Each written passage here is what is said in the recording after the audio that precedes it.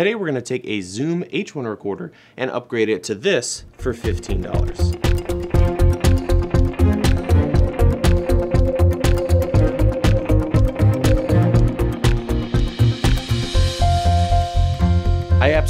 Love the Zoom H1 recorder. It is one of the smallest, cheapest, and just best all-around recorders. But there's a couple things I don't really like. I'd love to be able to have two inputs instead of one and have XLR as well as more than one output so I can not only monitor with headphones but also send a line over to the camera. So today we're going to upgrade this thing using a couple cheap items from Amazon and it's going to cost you around $15. So let's head over to the bench and get started.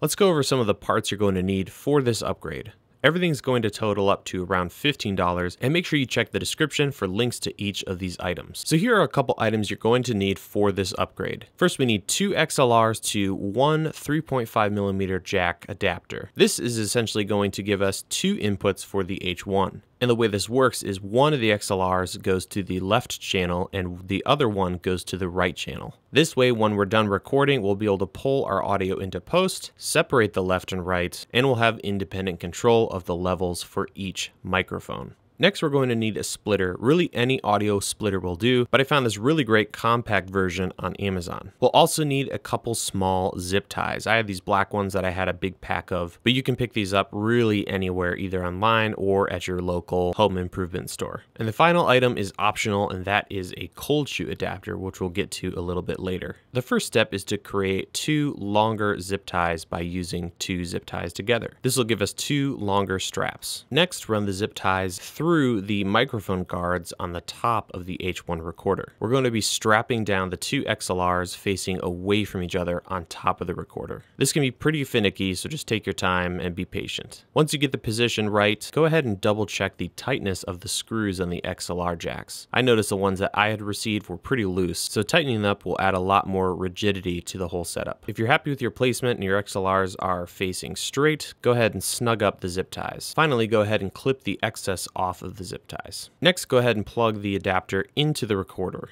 You could just leave it like this, but I found the excess wire coming from the adapter was pretty annoying, so I went ahead and coiled it to the back of the recorder and then zip tied the cable to the back of the guard for the microphones. This will give you a really nice compact setup. The next step is a very simple one. Just take your splitter and plug it into the headphone jack on the side of the recorder. This is going to give us a headphone out as well as a jack that we can run over to our camera. A setup like this is going to be great for cameras that do not have a headphone jack. If you're going to be running an output to the camera, one of these short 3.5 to 3.5 cables is going to be really handy. Finally, to mount this to the top of the camera, I'm going to be adding a cold shoe adapter. You simply thread this to the back of the recorder, and then we can mount the entire thing to the camera. You can then plug the 3.5 to 3.5 into the camera and the upgrade is done. Now we have the flexibility of plugging in up to two XLR microphones, monitoring the audio on the recorder, and sending a line over to the camera for recording audio on the camera. This will give us dual system sound as well as single system sound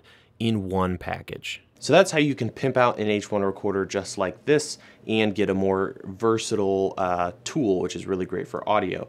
A couple things I want to talk about real quick before we wrap up.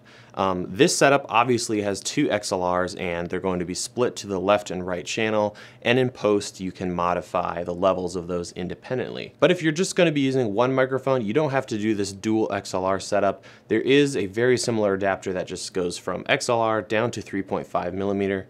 So you can pick one of those up and I'll have links to that in the description. And I know a lot of you are gonna say, Caleb, why would you add XLRs to this unit when there's no phantom power? There's no way to send power from this recorder to a microphone. Well, for those that are out there using uh, some kind of preamp, often that will have uh, phantom power that you can turn on and off. The other thing is so many of us, myself included, use shotgun microphones with batteries in them, so phantom power isn't required. So this isn't going to add phantom power, the hack we just did, but, um, you know, it's going to give us XLRs, which for a lot of purposes is really, really nice. So that does it for this tutorial. If you'd like to see more content like this, give me a thumbs up below and subscribe to DSLR Video Shooter and you'll get more tutorials and reviews right here. Thank you so much for watching and I will see you guys in the next video.